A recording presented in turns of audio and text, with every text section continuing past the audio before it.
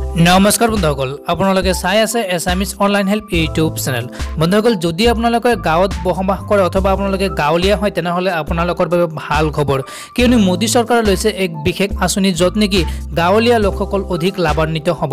বন্ধুসকল যদি আপোনালোকে গাঁৱত বসবাস কৰে অথবা আপুনি এজন গাঁৱৰ বাসিন্দা হয় তেনেহ'লে আজিৰ এই ভিডিঅ'টো একেবাৰে প্ৰথমৰ পৰা শেষলৈ অতি মনোযোগেৰে চাই থাকক। মাত্ৰ একৰ পৰা দুই মিনিটৰ ভিডিঅ' হ'ব এই ভিডিঅ'টোতে মই আপোনালোকক জনাই দিম যে কেন্দ্ৰীয় চৰকাৰে গাঁৱলীয়া লোকসকলৰ বাবে কি নতুন আঁচনি লৈ আহিছে। আৰু বন্ধুসকল ভিডিঅ'টো আৰম্ভ কৰাৰ আগতে আপোনালোকৰ এটা সৰু ৰিকুৱেষ্ট যদি আপুনি এতিয়ালৈকে এইটো ভিডিঅ'ত লাইক কৰা নাই প্লিজ এটা লাইক কৰি দিয়ক কিয়নো আপোনালোকৰ এটা এটা লাইকে মোক আগলৈ ভিডিঅ' বনাবলৈ উৎসাহ যোগায়। আৰু এনেকুৱা ধৰণৰ নতুন নতুন ভিডিঅ' পাবলৈ চেনেলটো ছাবস্ক্ৰাইব কৰি কাষত থকা বেল আইকনটো প্ৰেছ কৰি ৰাখক যাতে যেতিয়াই মই যিবোৰ ভিডিঅ' আপলোড কৰোঁ তাৰ নটিফিকেশ্যনো মই সকলোতকৈ আগত আপোনাৰ মোবাইলত যায়। বন্ধুসকল আপোনালোকে কথাখিনি অলপ ভালদৰে মন কৰিব।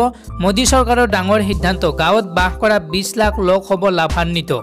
কেন্দ্ৰীয় চৰকাৰে লৈছে এক ডাঙৰ সিদ্ধান্ত গাঁৱত থকা লোকৰ বাবে চৰকাৰে লৈছে বিশেষ আঁচনি। দেওবাৰে পৰিৱেশ মন্ত্ৰী প্ৰকাশ জাভেদকাৰে টুইটাৰৰ জৰিয়তে জনাই এই কথা তেওঁ কয় যে প্ৰধানমন্ত্ৰী নৰেন্দ্ৰ মোদীয়ে দিল্লীৰ বাবে ঐতিহাসিক আঁচনি হাতত লৈ অষ্টাশীখন গাঁৱক চহৰকৃত গাঁও ঘোষণা কৰিছে। তেওঁ কয় যে কেন্দ্ৰীয় চৰকাৰে লোৱা এই সিদ্ধান্তৰ ফলত বিছ লাখ লোকক প্ৰত্যক্ষভাৱে লাভান্বিত হ'ব চিনাক্ত কৰা গাঁওকেইখনত সকলো সুবিধা উপলব্ধ হ'ব। লগতে থাকিব প্লেন পাছ গাঁওকেইখনত জনসাধাৰণে অতি সহজে লোন লাভ কৰিব আৰু গাঁৱৰ ৰাস্তা অধিক উন্নত মানদণ্ডৰে নিৰ্মাণ কৰা হ'ব।